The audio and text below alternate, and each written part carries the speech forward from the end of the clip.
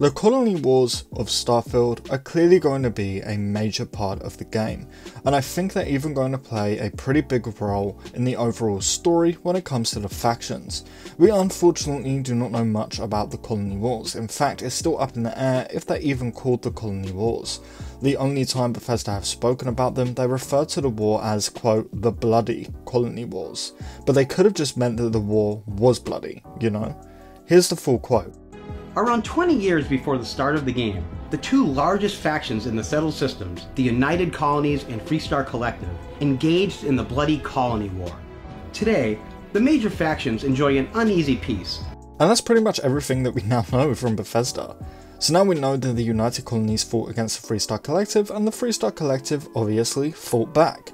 And I have a pretty good feeling that the two factions will act sort of like a Stormcloak versus Imperial type of vibe from Skyrim, but obviously in space. I honestly think that the United Colonies will very much rule through manipulation and maybe even fear, and it has been confirmed that they are the strongest faction in Starfield, and this picture specifically definitely gives me heavy Empire vibes. Whereas the Freestar Collective look to be living in a bit of rough shape, sort of as if most of the folks who live here may have even lost their homes due to the war.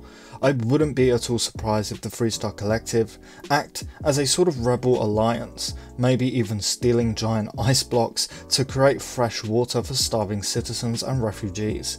The Freestar Collective definitely seem to be the type of faction that helps the needy and the less privileged and the less fortunate if you will. Maybe even a little like the Minutemen from Fallout 4. Let's just hope that this dude doesn't send us to help 20 outposts every 5 minutes. Another, Another settlement where simply need our help. I'll mark it, I'll mark it on, on your map. So the way I see it is that the United Colonies will act as a middle ground faction, a little evil and a little good, whereas the Freestar Collective will act as the fully good option at the end of the main story, and the Crimson Fleet will act as the fully evil option, whereas the Constellation faction will just act as the guys who just basically follow your lead, a lot like Fallout 4.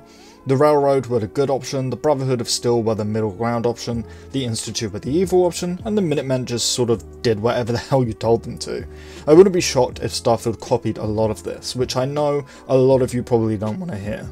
Now ideally, and I think a lot of you will agree with this, I would love to see more choices and consequences in Starfield compared to past Bethesda Game Studios games. Not just, oh you know, this is the good faction, this one's evil, and so on. I would also love to see a way to beat the main story without the help of any faction, and just sort of do it yourself. But back to the topic in hand, the Colony Wars. We still don't actually know why it even started in the first place. All we know is that a few years, 20 years specifically before Starfield takes place, there was a massive war spreaded throughout the colonies, like a world war in space, basically. And it ended up with the United Colonies and the Freestar Collective signing a peace treaty, but as confirmed by Bethesda themselves, the treaty was an uneasy one, meaning both factions are likely just sort of sitting around with their fingers on the trigger, waiting for the war to start back up again, and I think that that might be where we come in. I would not be surprised at all if Bethesda used Starfield to do what they originally wanted to do with Skyrim's Civil War questline. See, the Civil War questline in Skyrim was supposed to be a lot more in depth, and I've spoken about this before.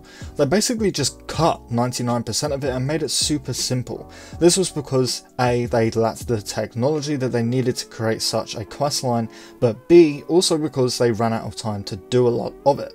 Originally, we were supposed to rise through the ranks slowly, not just after like one mission, like they left it. We were going to be able to decide who we attack, when and where, even using such things as weather to our advantage.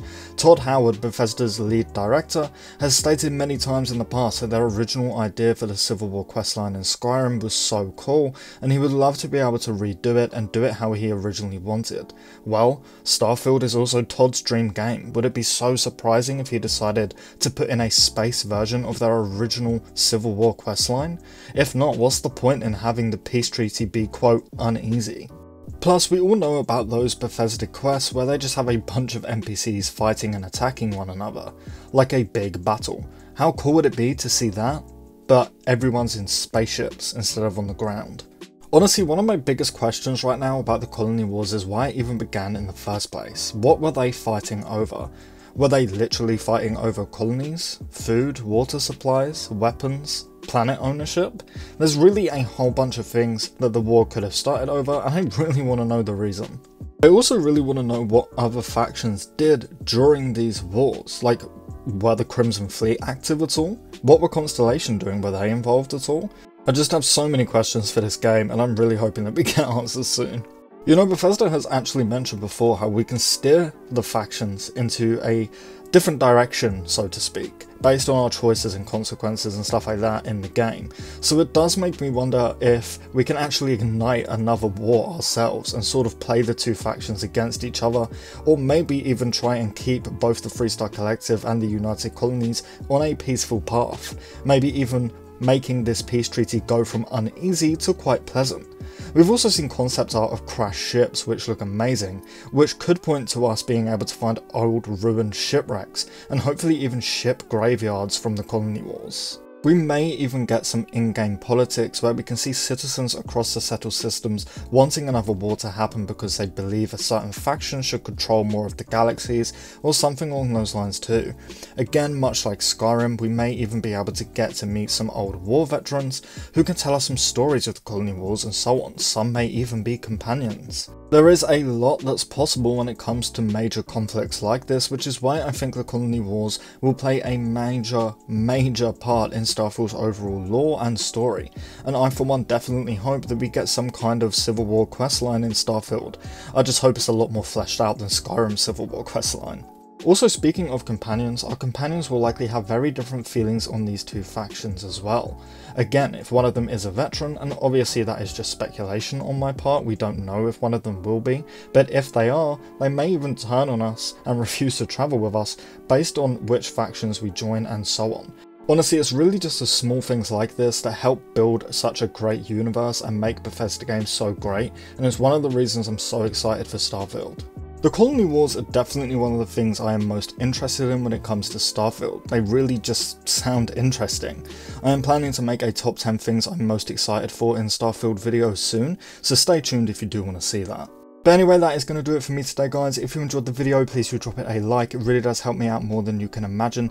And if you are new around here and you want to stay up to date on Starfield discussions like this and plenty of other Bethesda content, such as news, leaks, information, speculation, etc., you get the idea. I cover it all over here, so please do consider subscribing. We're also really hoping to hit 5,000 subscribers sometime soon, so if you do subscribe, thank you so much for helping me get further to that goal. But with all of that said and done, I thank you all so much for watching, and I really hope to see you in the next one.